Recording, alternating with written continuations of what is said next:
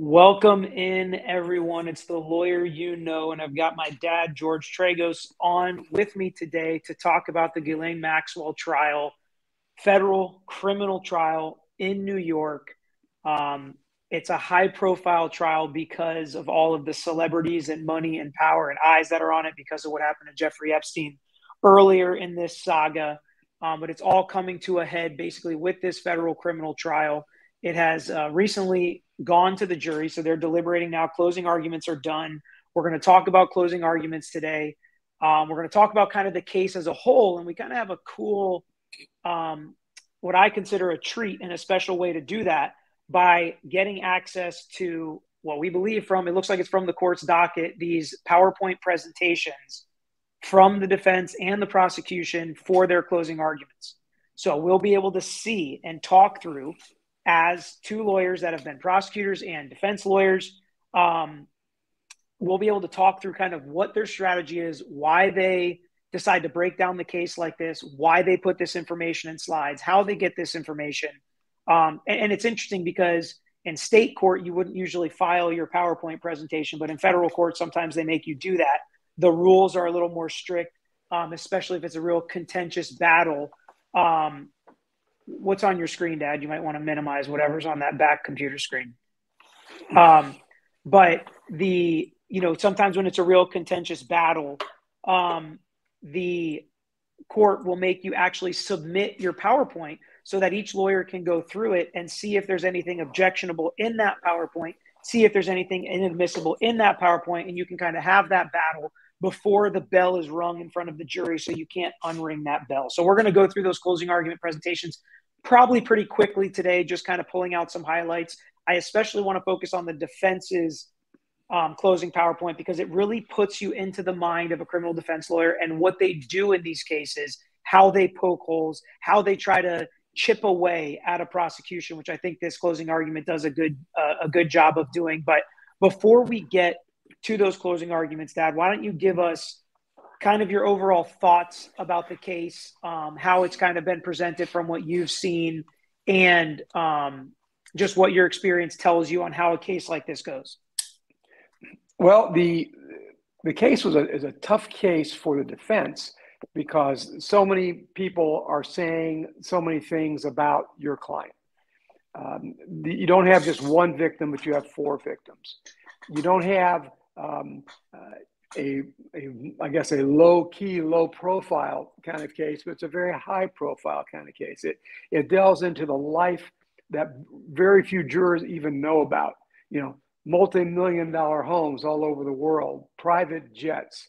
It's a lifestyle that the jury is going to find very interesting, and it's going to find it to be um, very seducing because you know putting a young girl in this lifestyle, the jury is going to see that and they're going to put themselves in that kind of a situation. So it's a it's a really tough case. Plus, the key defendant in the case is not there.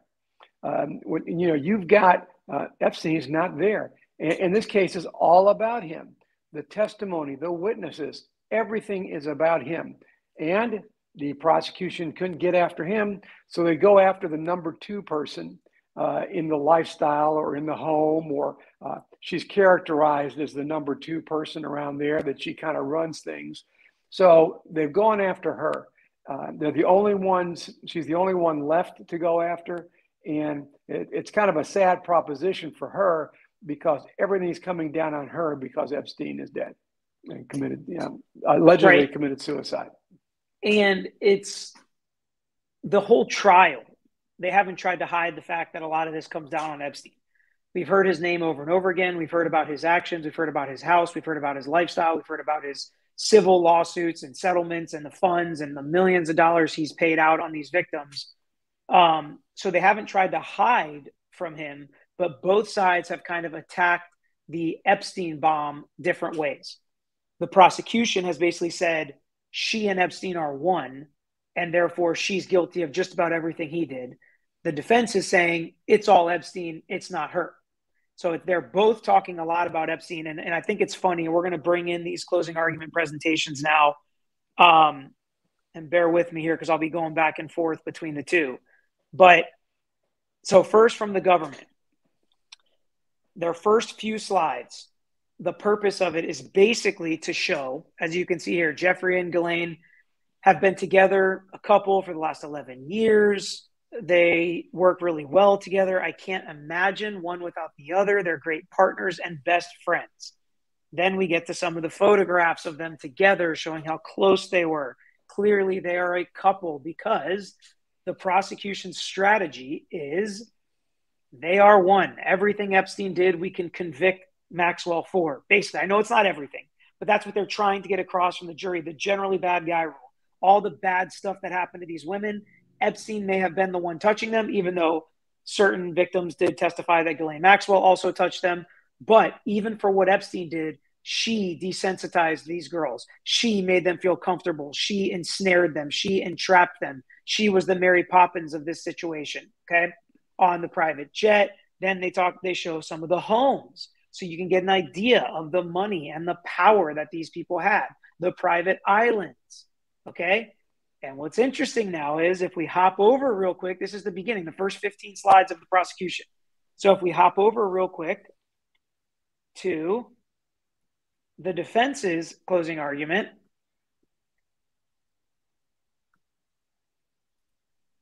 it starts out money and manipulation memory, which is their theme of the case, which we can talk about in a little bit.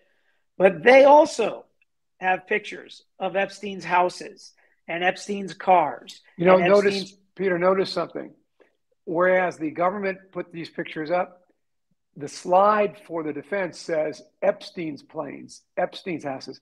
So they made sure they used this as a visual aid for them to concentrate the jury's eyes on the name Epstein when they're looking at these. And Epstein's helicopters and Epstein's bank accounts and Epstein's message pads and Epstein's flight logs and Epstein's private islands and everything from Epstein's house. Yes, they have some pictures of them, but literally the first 11 slides for the defense almost mirror the prosecution.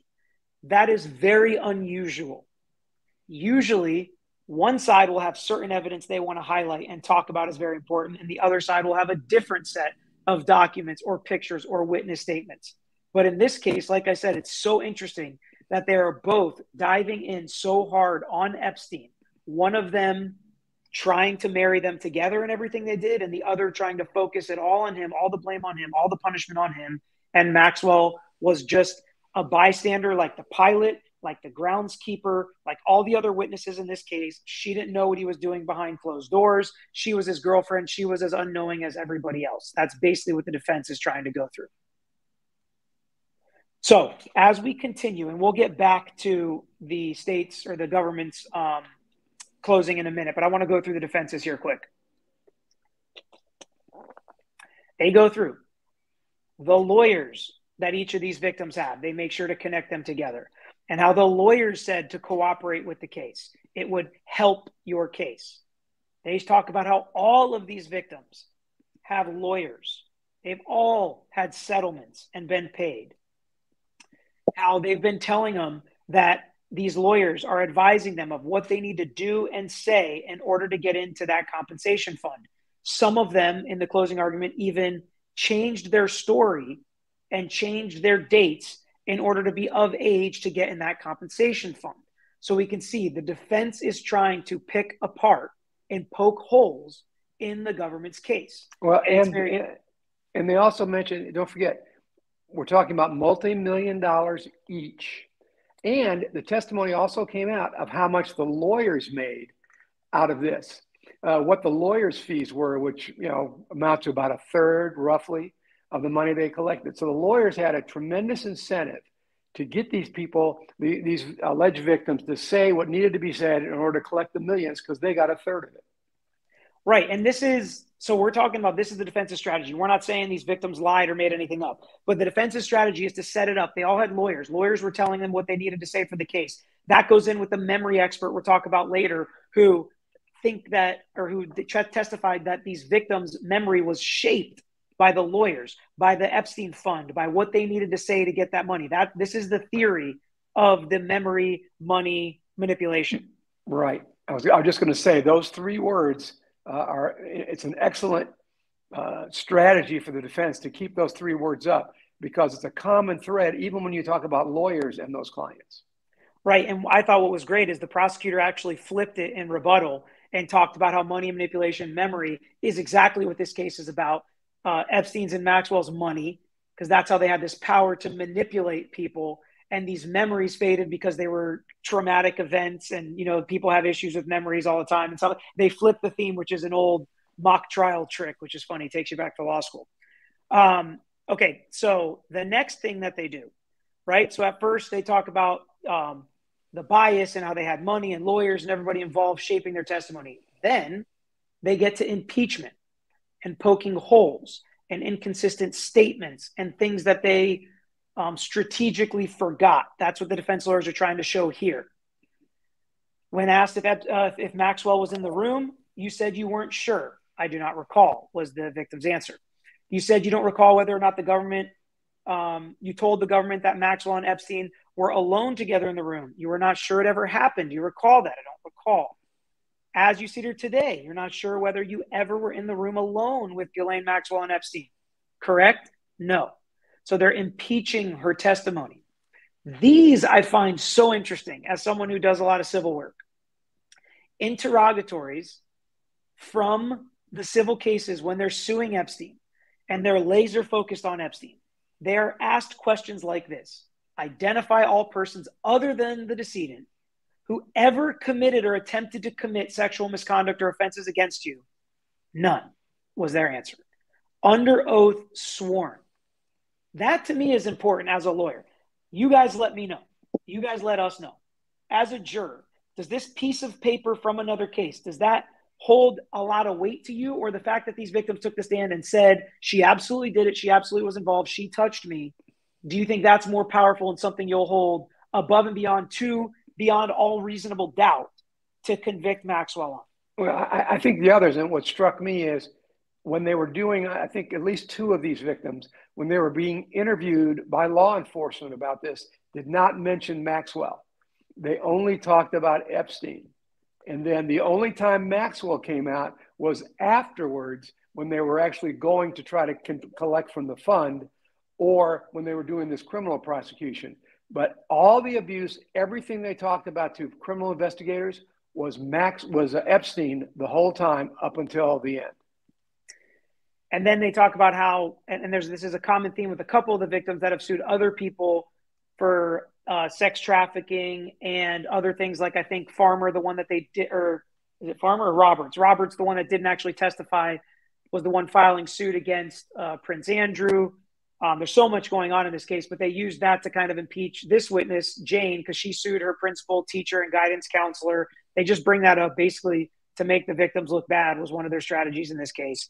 Um, and then we had some interesting stipulations like this that were put up on the screen and some arguments throughout the case. And you may think, why is this important? Well, they stipulate that Lion King on Broadway didn't even come out until 1997 that's important because a lot of the testimony had to be before 97 i think it was 94 in order for them to be minors and underage and for the actions to be criminal and illegal there was also some testimony that the defendant defense wanted to get into that i don't think they did that maxwell didn't even live at a certain residence until 97 when a lot of the victims testi- testified that things happened there in 94 and these timelines are really important because of the age of consent and we heard the judge give instruction Dad, why don't you talk about that for a second? Why were well, these witnesses allowed to testify when the judge instructed the jury that what they're going to testify about is not criminal behavior? Why would they be allowed to do that? Because they were trying to show a pattern. They were trying to show a, a modus operandi, is what you know people have talked about, where the pattern of conduct, even though, for instance, um, in one of them she was 17 in England, and in England being 17 it, you have consent. You can consent to sex. So she didn't come to the United States till she was 18. So all the things that happened to her were all legal. But because she was, again, according to the, the theory of the case by the prosecution, uh, she was groomed the same way the others were groomed. She was manipulated the same way the others are manipulated. The judge allowed that in to show a pattern of operation of Epstein and Maxwell and how they also work together as a team. So they allowed this to come in to show that pattern. And it makes so, it, and it makes sense. Is it kind of like other bad acts? It is kind of like other bad acts, except it's not a bad act. It's strictly to show a pattern, which 404B allows you to do. It doesn't necessarily have to be a crime for it to be introduced in evidence, another crime, but it can be a method of operation of how you actually operate. See, because to me, I, I have the instruction on the screen. I'm not sure if you're able to see it, but for me, if the judge has to tell the jury the alleged phys- physical contact she says occurred with Mr. Epstein and Maxwell in New Mexico was not, quote, illegal sexual activity. You can, sorry, however, to the extent you conclude that her testimony is relevant to the issue before you, you may consider it.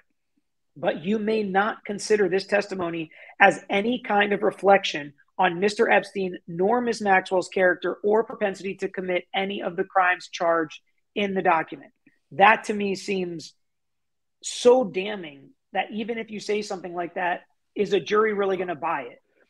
They're not, and every prosecutor knows that. And this is to um, Annie Farmer, yeah. just just to be clear. Yeah, every prosecutor knows that that a jury doesn't know the difference between character testimony and testimony of this method of operation.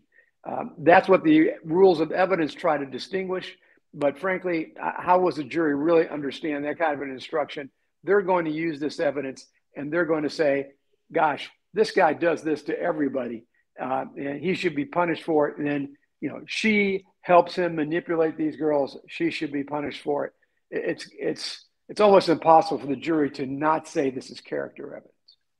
And to me, I mean, that's why you call them in my opinion. That's why the prosecutor calls them. So, but again, I really want to hear from everybody listening. We're going to get to questions kind of at the end, but as we're talking, I'd love to know everybody listening or watching's comments and thoughts about what we're talking about because while the prosecution gets to put these victims on and they get to tell a long story and they're on the stand for hours potentially going through everything in detail that happened to them. And then when the defense crosses them and they just have certain questions like this one, as you sit here today, you're not sure whether you were ever alone in the room alone with Ghislaine and Epstein, correct? No. So even after that whole story, they get this one chip away that the victim says they're not even sure they were ever alone in the room together with her when this abuse allegedly happened.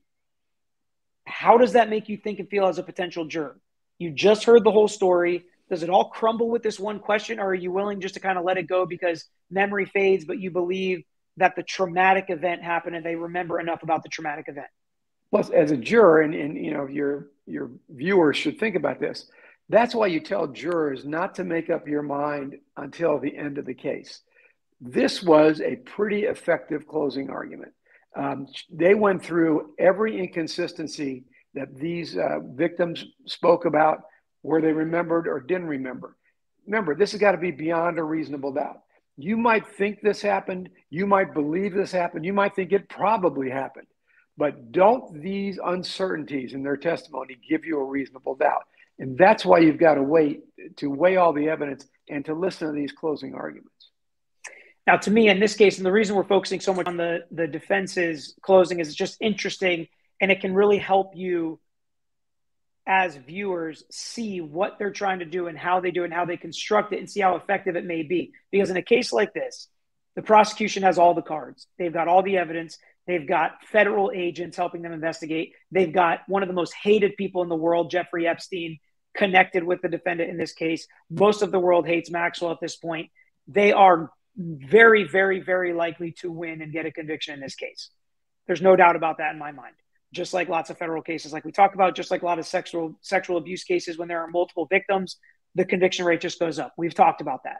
But we're focusing on this just to think about and see what you all think about one statement that may be inconsistent based on an hour of testimony and how that makes you think about everything these potential victims say. And how does the civil lawsuit in cases like this make you feel about a victim's testimony because i think most of us don't have a problem with a victim suing their abuser most of us don't have a problem with somebody suing somebody that sexually abused them and ruined their life. So I don't think it has that big of a, an effect, but you guys let me know.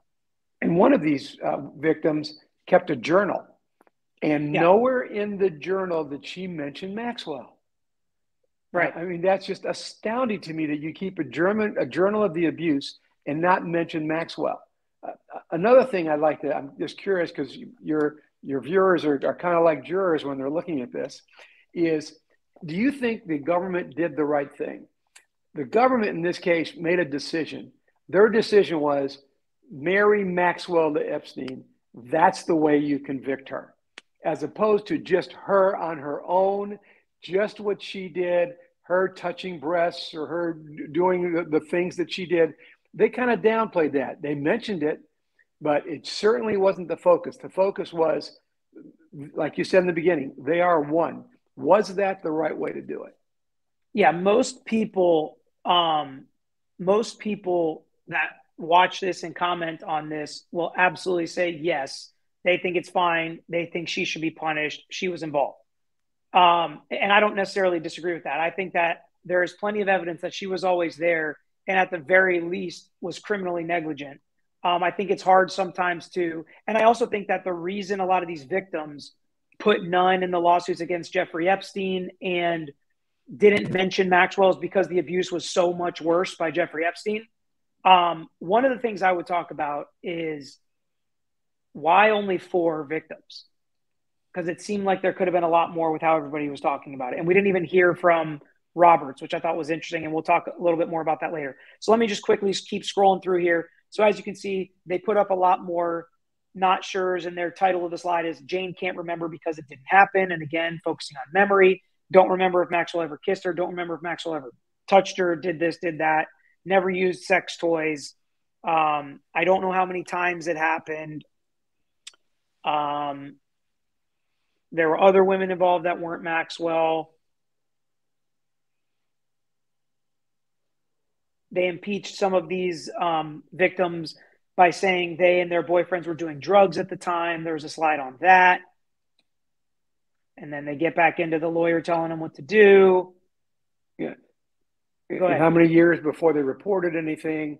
And the, the fact that they kept their relationship up with Epstein even after this happened. Uh, they, they, they, would call him, they'd meet him, uh, they'd ask him for money uh, well after this all happened, or even after it stopped. Okay, I did. I wanted to get to the expert here. So then they also. So this was interesting, Dan. I want to talk to you about this. So where were the witnesses? The uh, farmer's sister, who they talked about a lot, never testified. I did find that weird too. Other employees at the ranch, friends listed in the diary. Where's the missing journal? Right. So they talked about this missing evidence. So the defense was trying to call witnesses and had on their so people were making a big deal. The defense had 35 witnesses or something on their witness list. They only called a couple. Um, but they did want to call former FBI agents to talk about how sloppy and criminally negligent this investigation was. The judge didn't let them do that. The judge let them make certain summarizing arguments like this, like there, where was the evidence, where was the witnesses, they didn't do a good enough job, but not actually put on direct evidence that the FBI did a bad job or was negligent in their investigation. So, as someone, meaning you, who loves to put on that kind of defense, why do you think the judge didn't let him put on that defense? And do you think it's going to be an issue for appeal? Well, I think it will be an issue for appeal. Um, there's actually a lot to do with the witnesses because the defense claimed they also had some issues with witnesses and, and wanted to have some time to get some witnesses in, and the judge denied them that extra time as well. Because the because the government's case was supposed to take four more weeks. Right. And so talk about the FBI. Talk about the FBI investigation. That's what I really want well, to talk about. Is well, the FBI investigation, guilt or innocence, doesn't necessarily abide with how good or bad the investigation is, and unless the uh, defense can show that because of that investigation, she is innocent, or there's a reasonable doubt because of the investigation. Apparently, they didn't satisfy the burden of making it relevant and admissible to a jury. Sometimes it is. I'll be honest with you, there's been times when I've been able to put on law enforcement experts to say that this was a bad investigation, and here's the reasons why. Apparently, in this, in the defense wasn't able to convince this judge. And I mean, let's face it, this is she is a, a pretty good judge uh, that you've got here on this case. I don't know if this was brought up earlier, but you know, she's been appointed or nominated for the Second District Court of Appeals. Um, and during the three day recess, right in the middle of the trial, is when she actually had her Senate hearings uh, for her confirmation to be elevated to the Second District Court of Appeals. So she's a well respected, good judge. She didn't find that they met their burden of making it relevant to this particular case and this investigation. And it Do you may think be it- because the investigation was an Epstein investigation and not a Maxwell investigation. That Do could have been has- the reason as well. Do you think it has anything to do with um, the stuff they want to protect from the high profile individuals, former presidents, princes, royalty, whatever? Because what would they have found out if they would have gotten more into the investigation? A lot of people are talking about that. Um, and then also, we had a case where this happened to us in federal court where they stopped us from talking about a police investigation and what they did and where they put recording devices and things like that based on national security um, Right. objections. That's the only one I can remember us really getting blocked from talking about how federal law enforcement investigated a case. I, I honestly don't think the high profile figures made a difference. Uh, they were testified to during the course of the trial. Their names did come up during the course of the trial. So I don't, I don't really think that's it. I really think it was the burden of showing that this particular testimony went to guilt or innocence. And I think that they failed to do that with regards to Maxwell. And some of it may also be because of the way the government was presenting their case, and that the government presented their case as the Maxwell Epstein relationship was what made her guilty, and, and not these other extraneous things. Which is why, by the way, I know you haven't talked. I don't know if you talked about this. Why she didn't take the stand, um, because I think that this way the defense limited what was going to come in because they didn't want to make a really broad statement, and this investigation testimony might make it really a broad amount of testimony and could you know drag the trial on another couple of weeks. So they have more inconsistent statements here, like was the massage sexualized? Was it not? Um, they have some settlement documents, $1.5 million for sexual abuse in a movie theater, which was him touching her foot and her arm and her leg. Um, Which Maxwell Again- had nothing to do with. well, she was there one of the times, she said. She said one of the times her sister was there. And again, so where's her sister? That, that's the thing that's hard about this is there was Right. other women and people involved too. Um, all right, I think that was pretty much it besides the memory expert. Um, here we go. Professor Loftus. So, or a, a distinguished professor, memory is malleable, memory weakens over time, memory is impacted and corrupted by post event contamination. So, here's my issue, Dad, just to start off. Defense expert, whatever. You could say this in every case for every witness of all time because every case takes years to go to trial. And whether it's 20 years or three years, you can say that your memory has been affected by the time, right? Right.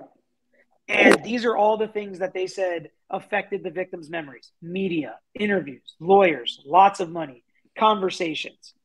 All may be true, but it doesn't mean that what they're testifying to is false. So, talk Well, about and- how, hold on, here, because eh, they answer this specific question. How does a criminal defense lawyer use this type of expert testimony without being able to prove that, yes, this may be true, but that doesn't mean what they're saying is a lie? Well, they use it the way this defense lawyer used it. You do a chart, you make all the issues of all the things that could affect their memory. The, the sad thing is, uh, and I think the studies show, jurors aren't that influenced by this because this particular expert never examined the victims to make any kind of a determination if the victims were ever affected by any of these memory problems. You know, and so the fact that she gets up there and just says people have bad memories, I don't think that's going to sway any jurors unless she was able to say, I interviewed and I examined, I tested this victim, and that victim's got a memory problem. Yeah, That's the only way it becomes effective. yeah, and that's interesting. So she used other things in this case that that we all knew she had, which was the lawyers being involved, the media being involved, that they got these settlements for millions of dollars. So she tried to pull things that were already evidence in the case and show how that could affect someone's memory. Let me see if there's anything else. Just kind of goes through how it could be subject, And I tell you that that can be that can cut both ways. The jurors maybe could excuse some of the memory lapses of these victims, provided they remembered the key elements. Because you're going to remember, according to experts, the trauma type testimony. So yes, I remember being abused. I don't remember that it was six o'clock and and the sun was up. Yeah, I, those are inconsequential memory items. And so, and then they finished by going through each of the charges, talking about how there's reasonable doubt and how you have to X out all the charges. They talked about presumption of innocence and how Maxwell doesn't have to prove her innocence. We've talked about this a lot on our channel. Reasonable doubt, same thing. Um, not all possible doubt. And then they finish with not guilty on all counts. So uh, that, go ahead. Well, there, there's one other thing that people might wonder why aren't the penalties uh, on there? You've got all the crimes but the jurors don't know the penalties. They don't know that the trafficking in a minor is a 40 year possible sentence. And so the jurors are never told that. And the rule is jurors never know what the punishment is. Punishment is up to the judge. So you never tell jurors what the punishment is for particular crimes. And that's why you don't see the punishment there in those when they were going through those crimes.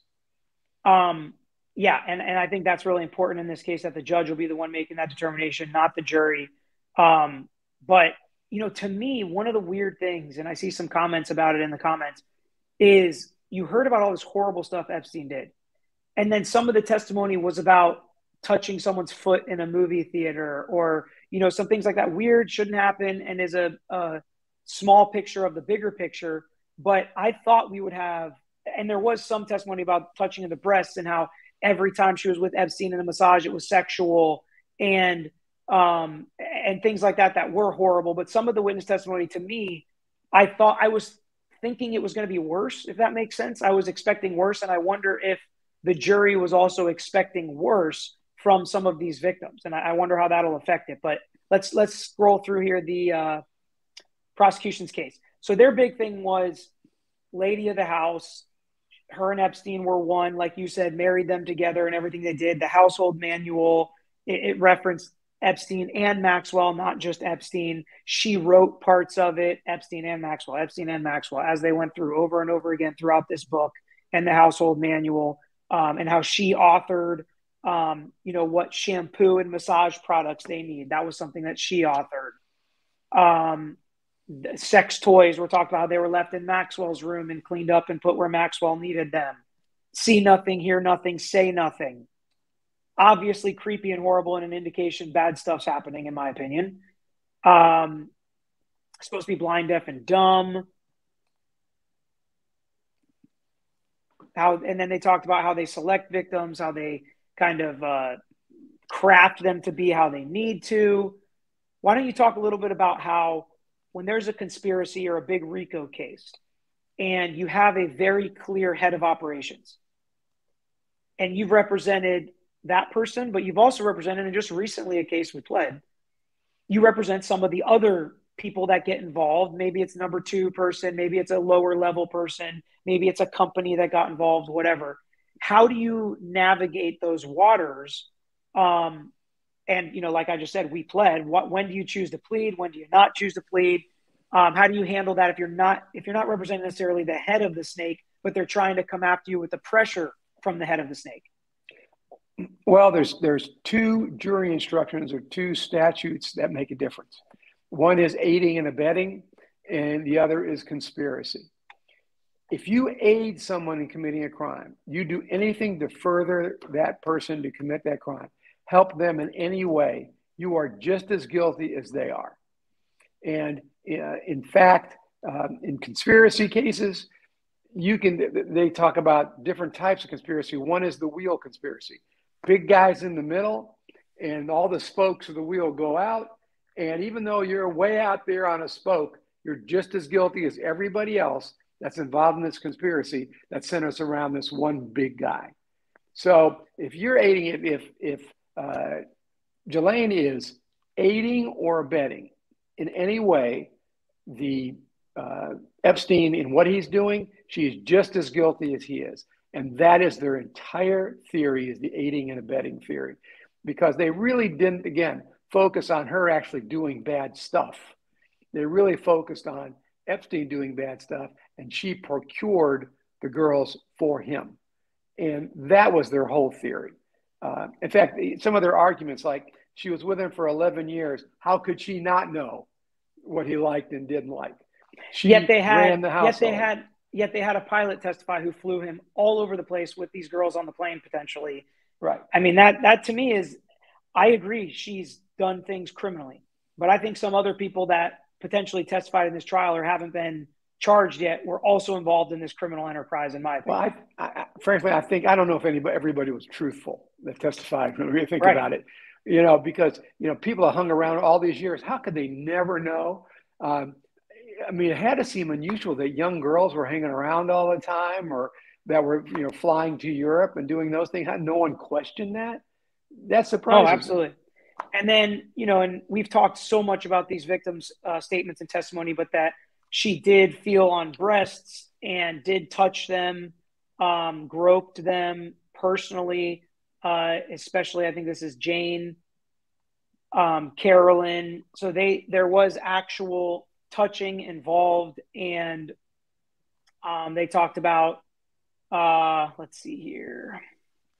They were frozen in fear. They'd never been in this position to see male parts before. Um, who would tell you how he liked to be massaged? It was Maxwell. Maxwell would give the instructions. It was sexualized. Here's a picture of the massage room. Um, 14, 15 years old. They went through all the victim statements as you could imagine. And I, I actually think they did a really good job, as I said, of flipping the testimony or uh, flipping the the um, defense's theme. Let me see here. I've got some notes from the closing that I thought were really interesting. Well, Go ahead, Dad, if you get some. Well, I was saying bringing the massage table uh, into the courtroom and setting it up. I thought that was a pretty dramatic moment for the, the jurors to be able to visualize what it was like and how it actually happened. Um, we didn't get to see. I, am sure there are probably in, in, in this we've seen some things that are blacked out. My guess is those are images of the other girls we didn't get to see what those other girls looked like when they were 14 years old. You know, and the jury could look at those girls and frankly, they could be so horrified by that that they didn't hear the rest of the testimony because uh, jurors can shut down. They make sometimes they make up their mind right away, and once they've made up their mind, it's very hard to turn them around.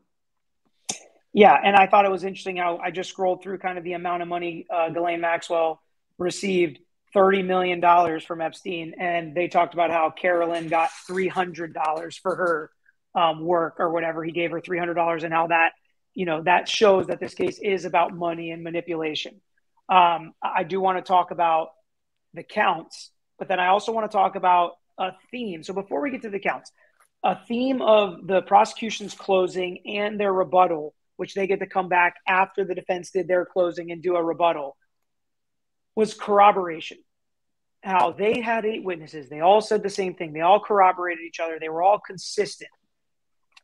For people that are not lawyers, how do you feel about that? Do you think that eight people coming saying similar things is the end all be all and that makes you believe it a lot more? Or do you expect that if a certain lawyer or a certain side calls a witness that witness will be good for them. And that witness will say something consistent with the other witnesses. What do you expect? Because as lawyers, we expect them to say what they said before, to be consistent, to stay in the story. That's why we call them as witnesses. Now, we all saw the Kyle Rittenhouse trial, or a lot of us did, where some of those witnesses absolutely were not good for them. Um, and we also saw uh, uh, Binger not call. I'm sorry, sorry. Let me let me start over. But we also saw Binger discuss in an interview how he considered not calling Gaige. He ended up calling him, and we all thought that was a pretty bad idea because Gaige basically sunk their case. Well, we saw that they did not call Roberts in this case. They did not call Virginia Roberts in this case, one of the named victims in these counts, probably because of all the other baggage she had, and they felt the case was strong enough without her. So the decision to only call certain witnesses and not others. But I want to know what you all think about when we as lawyers say all the evidence was consistent, all the witnesses were consistent. Do you say, duh, you called all of them, they should be consistent? Or do you actually say that does make sense? Everybody has the same story. Just food for thought for you guys. Well, keep keep in mind too for you when they're when they're making these comments, is that these cooperative witnesses did not corroborate any sexual activity all they did was corroborate that these young girls were there, but they didn't see anything improper None of them. All right. Uh, let's get to the counts now, and you can kind of give us your thoughts. So, count one conspiracy to violate federal law. That's what you're talking about. Conspiracy means if, if Epstein did it, she can be on the hook too. Number two, enticement to engage in illegal sexual activity. So, again, not necessarily that Maxwell committed an illegal sexual activity, but that she enticed the minors to do it. Conspiracy to violate federal law. Again, count three transportation of an individual under the age of 17 to engage in illegal sexual activity. Count five, conspiracy to violate federal law. Count six, sex trafficking of an individual under the age of 18. So that's the 40 year one, I think. All of those are grouping in Jeffrey Epstein's actions. So you can see why they did, why they charged what they charged. And here are the specific counts. So very interesting to me. What did you think when you looked through these two uh, closing arguments? Anything surprise you about them? Anything stick out? Um, what, what, were your kind of overall thoughts about the closing arguments? Uh, again, I, I don't know if it was a good strategy for the prosecution to kind of lightly brush over her individual actions with the girls. Uh, I, I, think I would have emphasized that more. Him, you know, touching their breasts and actually participating.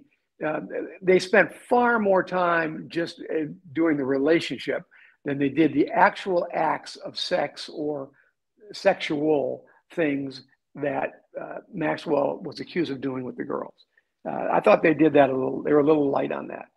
I thought the defense did about as good a job as they could in laying out the inconsistent statements and showing how at one point they never talked about Maxwell. Today they talk about Maxwell. They get $3 million because their lawyer came with them for the interview. Remember, they, they emphasized some of these girls actually brought their lawyers with them. Um, so, you know, they got millions of dollars. Um, I, I think they did a good job. They were consistent. I just don't know if they can overcome the fact that you have four individual girls young girls all saying how they were uh, manipulated, groomed, whatever word you want to use, for Mr. Epstein. And then also, I do think that having the former boyfriends and the parents corroborate that they were involved with Epstein, they were getting calls from women, that this is true, this did happen, I think adds a lot of weight to what these girls said happened. I, and I, there's no doubt in my mind that some of their memories are not clear. Anybody that says they have perfect crystal clear memories of something that happened 25 years ago is just wrong. But i think the trauma and the the sexual abuse that happened and who was there and who was compl- complicit in it complacent in it i think that was very likely true. And i think maybe you know what day it happened on or which of his houses they were in especially if they were using drugs and trying to forget what happened. And they you know had these sexual encounters in new mexico new york and florida and all over the place. Maybe some of those details may have been wrong um, because of the memory issues but i highly doubt all of the um, behavior was wrong. And then one other question i have for the, the crowd watching and i'm also now going to solicit your questions because we're at the point of um, the video where we're going to start reading questions from the chat. And I'm going to start kind of from here and work my way down. So if you have a question, throw it in the chat now. But do you think, and dad, let me know what you think. So we always, if we're the criminal defense lawyer in the case, want to get into the fact that they have these civil settlements. They filed these civil lawsuits. They've gotten millions of dollars because of this to show the bias that they can make money off of this. But the prosecutors in this case, I thought, did a great job of saying they've already been paid. They have no financial interest left in this case. That, A, I think was a good job. Number two, if I'm a juror and I don't know any better, which is what I want to ask everybody here. If you don't know how all this works and how settlements work and difference between criminal and civil, filing these claims, filing these lawsuits, do you think that because they got a $3 million lawsuit, that that means she's guilty and she did do something or else they would not have paid these victims for what happened to them? Doesn't that, the fact that they've been paid, doesn't that corroborate their story? doesn't that show that something happened to these girls that was horrible? We all know car accident cases that get a $200,000 verdict or a $100,000 settlement. $3 million, something very bad happened to these girls. And obviously, somebody agreed with their, their story. That's why they got 3 million. I don't know. I'm asking, I'm wondering if, if it backfires on us when we do things about settlements. Well, I, I don't. I, I think, I think that it's legitimate to think that $3 million could color your testimony. Okay. And the fact that they were already paid, would, the way I would counter that is they were paid the 3 million. They better not change their story today or they're going to have to give the 3 million back. So they're stuck with their story to get the 3 million. So that's why they've got to say it today.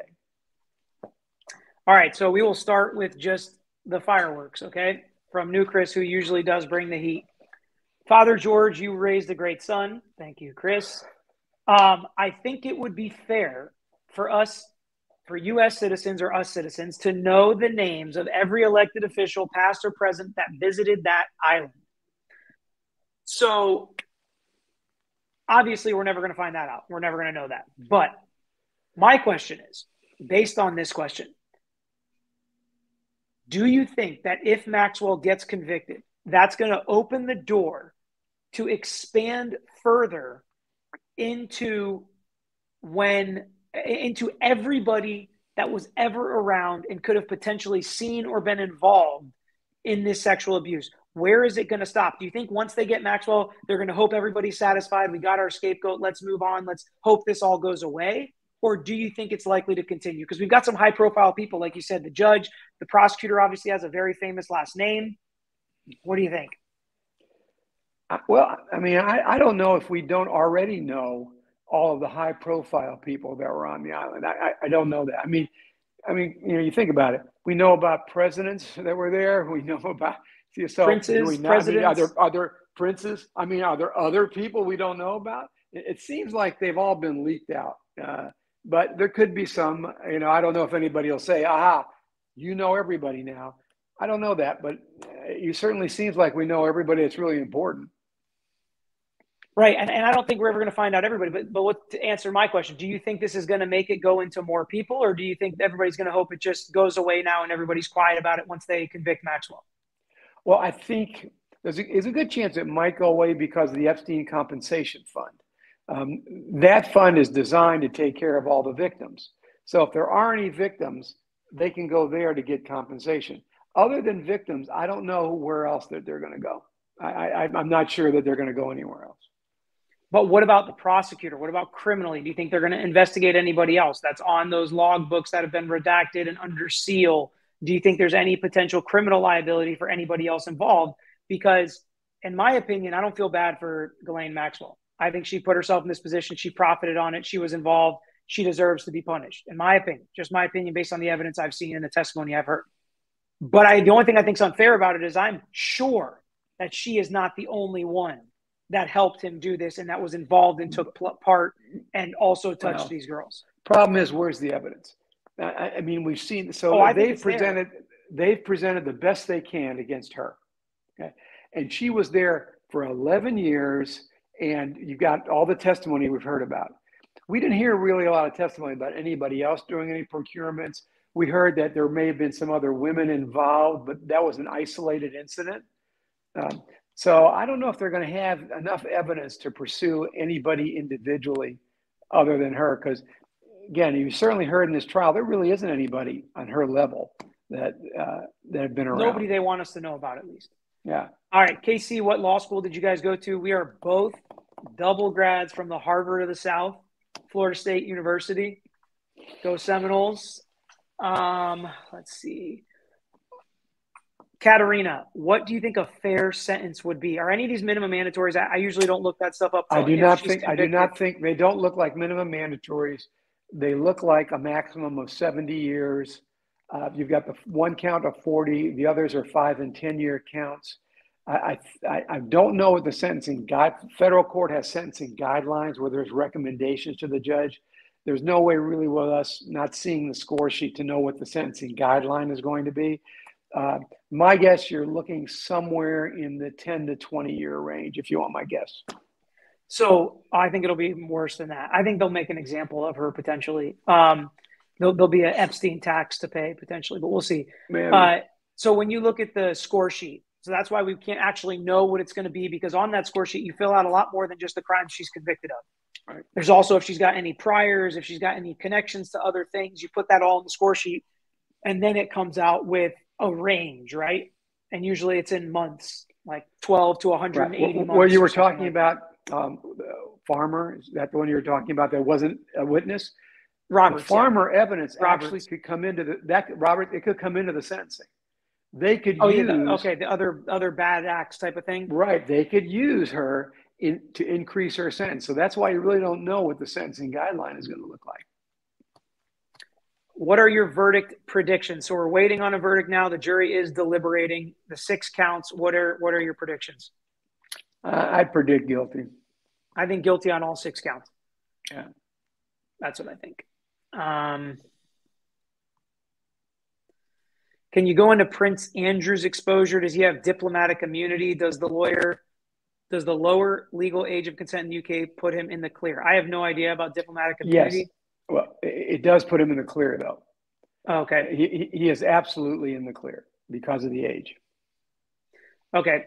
Yeah. And I don't think he's got a lot more exposure. I know Roberts was suing him. I think that case got thrown out or they settled or they found that. What I thought was interesting is they found that he was in the class of the Epstein fund, which is like, that's not a class I want to be in. I get it if I get sued and I can wash my hands and not have to pay any money, but that is not a class I want to be in, is the Jeffrey, Jeffrey Epstein uh, fund class.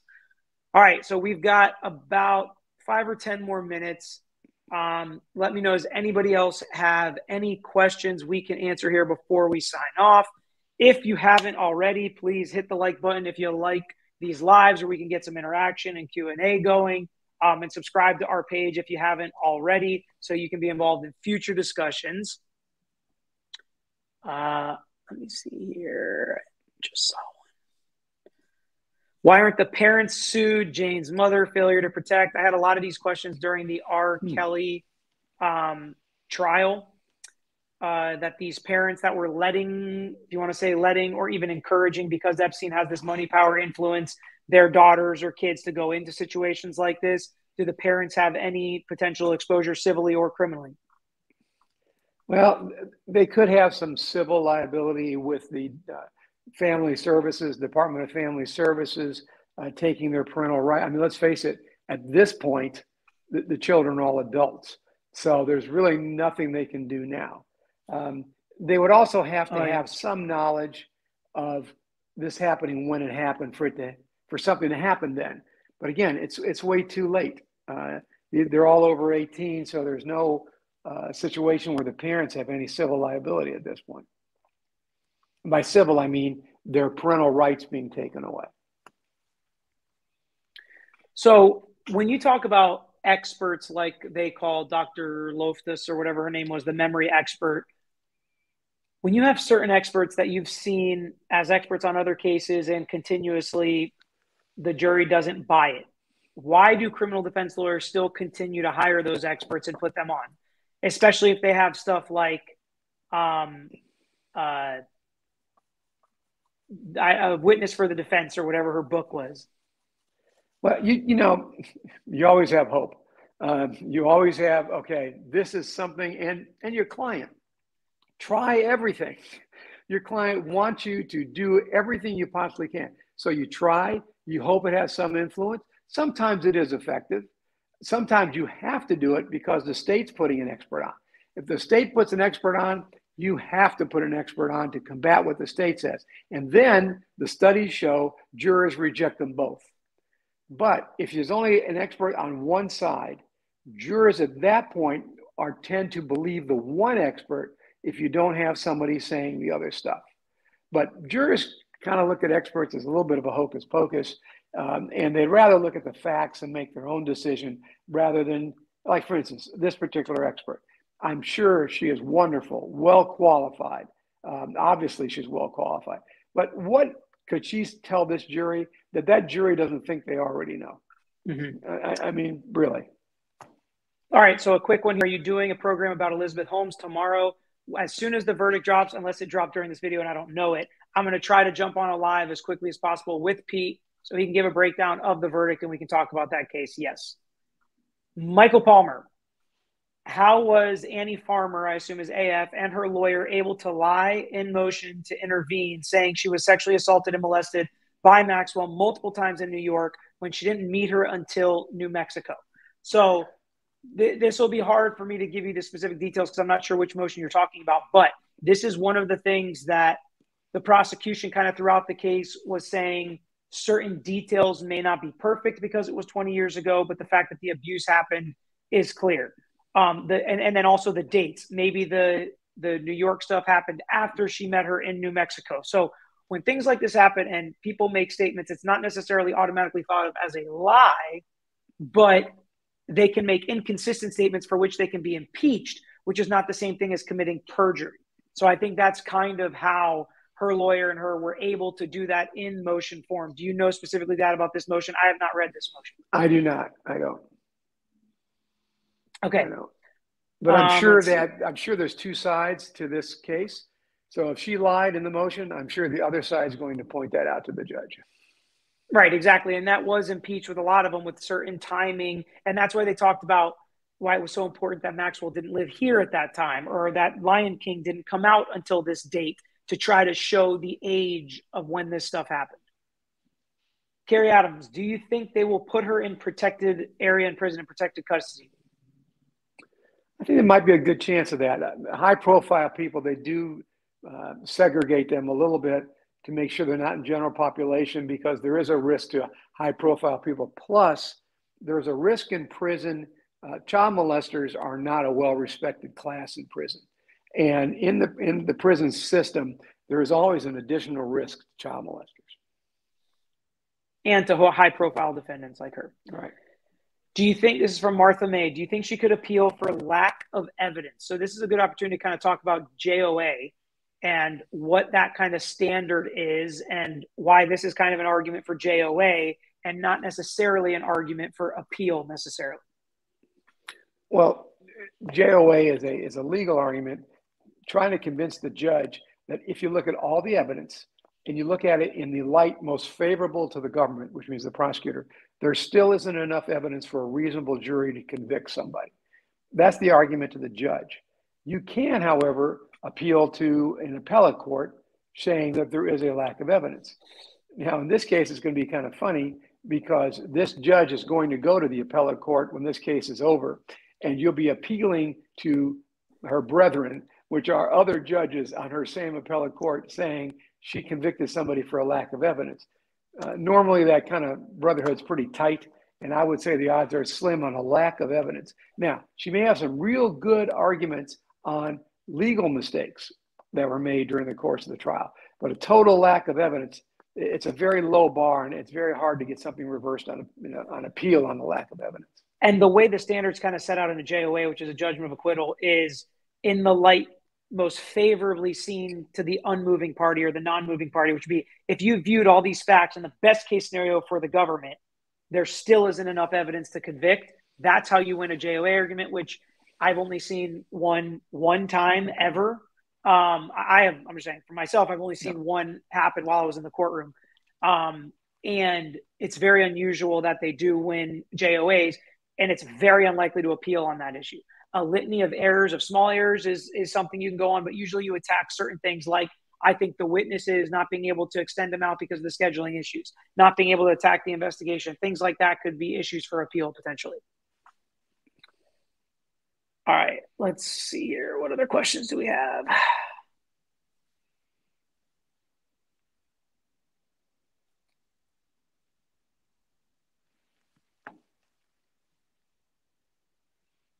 So here's a good one.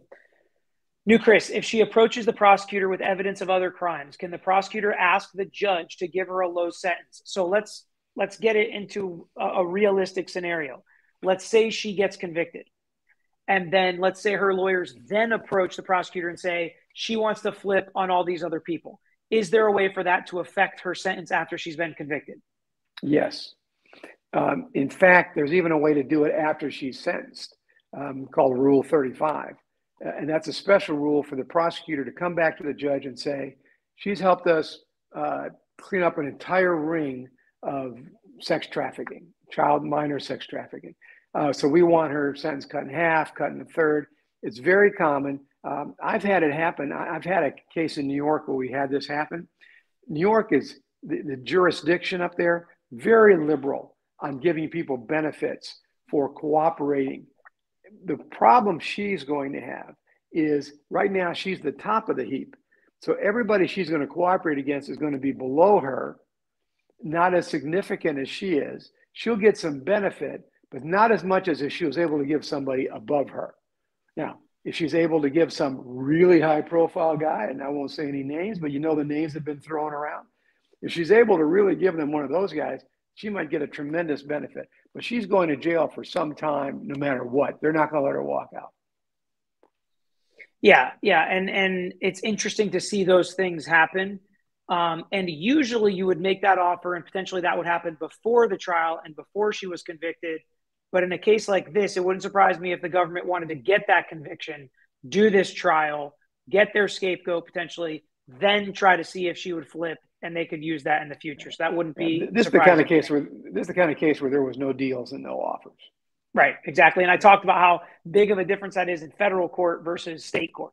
How it's much more likely for federal court for federal prosecutors not to make any offers. You can have life or you can have life, like we've gotten offered in cases. All right, so this is interesting to me. Natural individual. Why no charges of RICO in the Mann Act like with R. Kelly? And so I'll just say before you give your answer, Dad, the R. Kelly case was the more unusual one. It's very unusual for them to do it in that kind of case. This is actually more normal charges based on these facts, in my opinion. But go ahead and give your thoughts. Well, um, I don't know about the Mann Act necessarily because I again I'd have to take a look at traveling across state was, lines for yeah, sexual everybody behavior. was lo- everybody was located and, and see how that all shuffled. It around. does seem eerily similar to Yeah. the R. Kelly case, flying these girls to New Yeah. Mexico and Florida and, and New York. And then RICO, the, the key element in RICO is there has to be a central organization for a racketeering. I, I got to be honest with you, RICO and the Mann Act probably you could probably fit it into the facts of this case. I agree. If you can fit it into R. Yeah. Kelly's case, this is very probably could. similar with the the rule book and all that stuff, but they they didn't. Well, So they didn't, but they didn't really need it because that that um, uh, sex trafficking is a 40 year sentence. So they had about as heavy a sentence as you're going to get. All right, so that's all we've got. It's we're at the hour mark here. Thank you everyone for joining us on this live. It was a lot of fun. Thanks for your questions. We enjoyed answering them. If you haven't hit the like button yet, please do that. Um, we'll continue to bring content when we get a verdict for in the Maxwell case. We'll try to come on and do another live. If my dad's available, I'll bring him on. When we get a Holmes verdict, I will bring Pete on and we'll talk about that case. Let us know what cases are coming up that you want to hear about. And in a couple hours at about six o'clock today, uh, I did a video on Alec Baldwin, um, how there is a search warrant out now for his phone, which is a little shocking since I thought he was cooperating fully with law enforcement in this investigation. Has that changed and why? So check out that video. Um, and as always, thanks for being with us. Until next time. Thank you.